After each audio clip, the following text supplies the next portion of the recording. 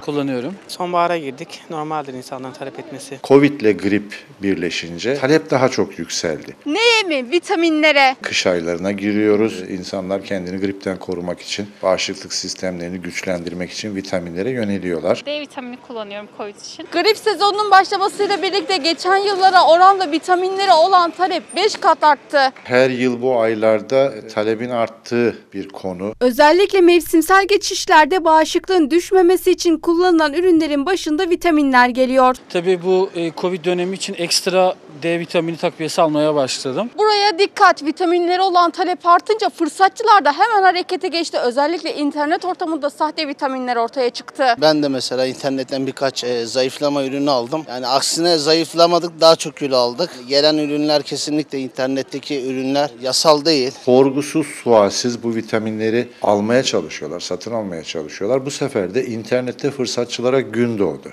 İnternetten alışveriş yapmıyorum. İlaç sektöründe hiç yapmıyorum. Konuyla ilgili ulusal kanala konuşan İstanbul Eczacı Odası Başkanı Zafer Cenap Sarı Alioğlu vatandaşlara uyarılarda bulundu. Sağlık Bakanlığı'nın bu konuda çok net açıklamaları var. İnternetten satılan bu tip ürünlerin %100 sahte olduğunu açıklıyor. İnternetteki ürünler gerçekten sahte ürünler. Bu anlamda bizim vatandaşlardan ricamız şu. Doktorunuzun size tavsiye etmediği, eczacınıza danışmadığınız hiçbir vitamini satın almayın. Hele internetten asla satın almayın. Güzel vitamin, meyveden alınan vitamin. O yüzden biz meyve tüketiyoruz. Vitamin almış oluyoruz.